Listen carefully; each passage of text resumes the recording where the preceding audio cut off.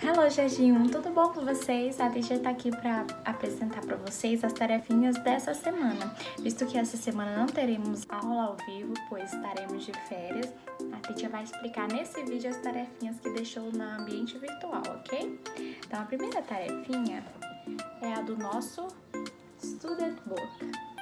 Que, que é pra gente fazer nessa tarefinha? Primeiro, temos que identificar os móveis que estão aqui. Então, temos aqui lamp, né? Two lamps, two beds and a sofa, ok? Depois, vamos fazer assim.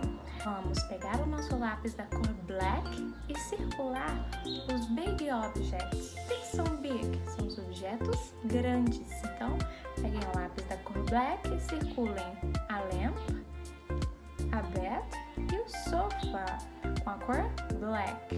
E com lápis da cor pink, circular essa bed and essa lamp. Por quê? Small objects são objetos pequenos, ok? Então, essa é a nossa atividade do nosso livro, nosso Student Book. A teacher também deixou a atividade na apostila, no nosso workbook. Apostila, página 25.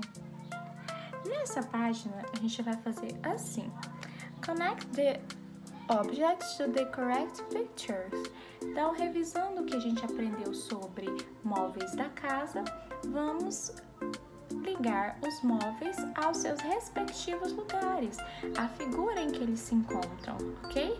Depois de ligar cada figura, a gente vai colorir, ok?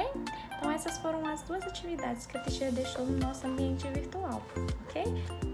Um grande beijo, bye bye!